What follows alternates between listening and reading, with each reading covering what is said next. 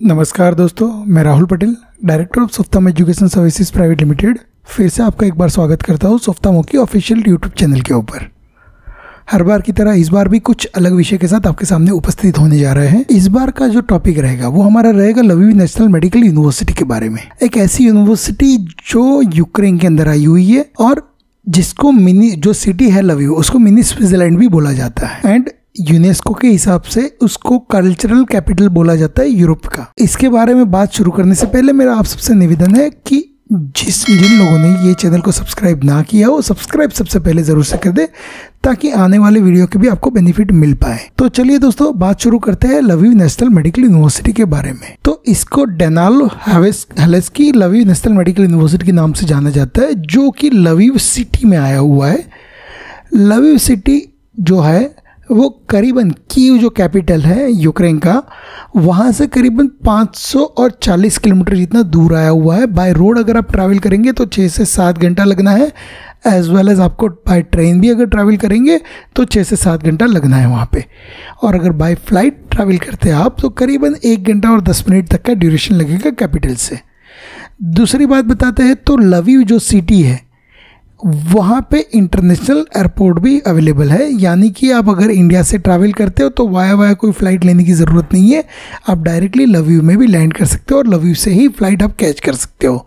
Means कि transportation जो part है, बहुत ही ईजी हो जाता है आपके लिए, अगर इंडिया से आना जाना है तो। दूसरी बात करेंगे, अगर इंडिया से डिस्टेंस की हम लोग बात करेंगे तो करीबन 5000 किलोमीटर जितना दूर रहता है दिल्ली से लव्यू लव्यू सिटी की अगर लोकेशन की बात करेंगे तो पोलैंड बॉर्डर से करीबन 70 किलोमीटर के डिस्टेंस पे आया हुआ है। मीन्स कि यूरोप के एकदम नज़दीक आया हुआ सिटी है। दूसरा, वहाँ से हंगेरी भी नज़दीक में हो जाता है, वहाँ से स्लोवेकिया भी नज़दीक में हो जाता है आपको।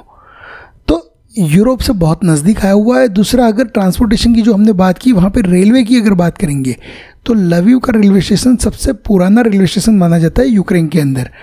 पॉपुलेशन की बात करेंगे सिटी के अंदर तो करीबन साढ़े सात लाख की पॉपुलेशन है, जिसमें डिफरेंट कम्युनिटी बिलोंग करती है। वहाँ पे यूक्रेनियन भी है, रशियन भी है पोलिस और हंगेरियन हर एक टाइप की पब्लिक वहाँ पे आपको देखने को मिलेगी। इंग्लिश का यूज़ वहाँ पे यूक्रेन की बाकी सब सिटी के कंपेरिजन में ज़्यादा देखने को मिलेगा। रीज़न एक ही है कि लवीव जो है वो टूरिज़्म प्लेस है।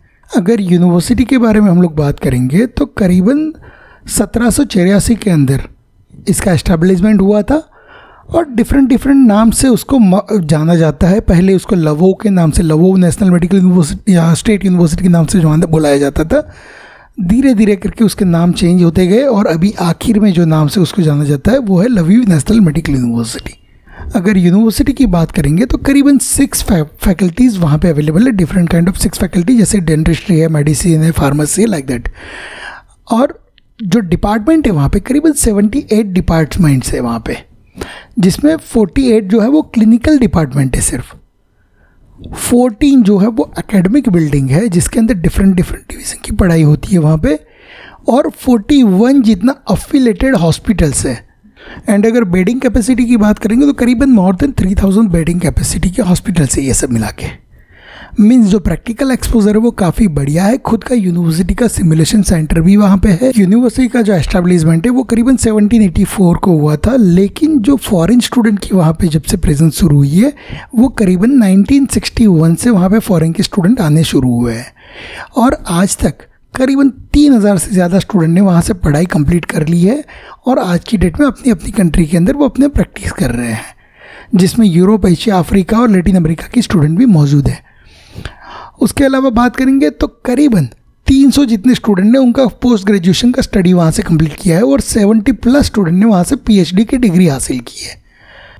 अगर एक्रेडेशन के बारे में बात करेंगे तो यूनिवर्सिटी के पास एमसीए का एक्रेडेशन है ही ऑलरेडी डब्ल्यू के अंदर भी एक्रेडेटेड है। उसके अलावा ई e जो है, जो कि रिक्वायर्ड है यूएसए में अगर आपको पीजी करने के लिए जाना है तो उसके लिए। तो ई e से भी वो एक्रेडेटेड है।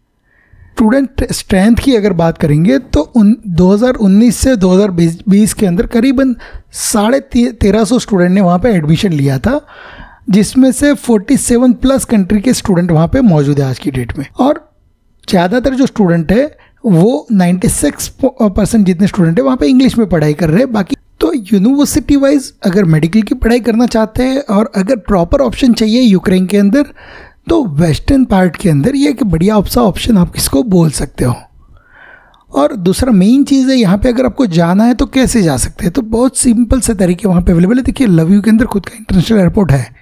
तो डायरेक्टली फ़्लाइट जो वहाँ पे कनेक्टेड रहती है, अगर लव यू के अंदर आपको जाना है तो वाया क्यू होके भी फ़्लाइट जाती है वाया पोलैंड होके भी फ़्लाइट जाती है वाया तर्की होके भी फ़्लाइट जाती है मीन्स डिफरेंट डिफरेंट फ़्लाइट के ऑप्शन अवेलेबल रहते हैं दिल्ली से। उसके अलावा अगर आप क्यू जाते हो और क्यू से अगर बाई ट्रेन जाना है तो बाई ट्रेन भी आप जा सकते हो। रेलवे जो रेलवे स्टेशन है क्यू का और एयरपोर्ट है, उसके बीच में करीबन एक घंटे का डिस्टेंस है। आप दोस्तों, आज के लिए बस इतना ही। नेक्स्ट जो वीडियो रहेगा, उसके अंदर हम लोग बात करेंगे Lviv National medical university की फ़ीस के बारे में, उसके एकोमोडेशन पार्ट के बारे में, उसके लिविंग स्टैंडर्ड के बारे में।